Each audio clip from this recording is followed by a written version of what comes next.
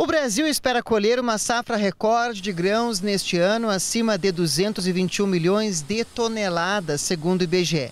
Além disso, nosso país ostenta o título de maior exportador de proteína animal do mundo.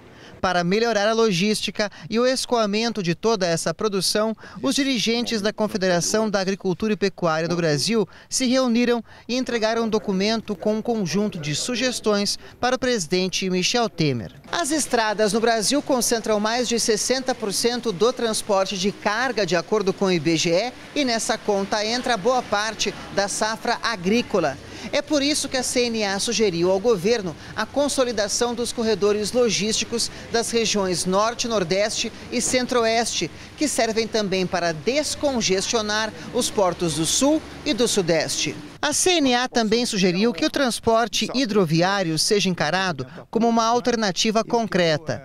O presidente Michel Temer se comprometeu a estudar as sugestões apresentadas. Também falou sobre a recuperação de mercados como a União Europeia para a carne brasileira depois da Operação Carne Fraca que apura irregularidades na concessão de licenças para a produção e venda do produto. O ministro Blairo Maggi acabou de me dizer que terá nova, novas conversações agora durante esta semana e semana que vem.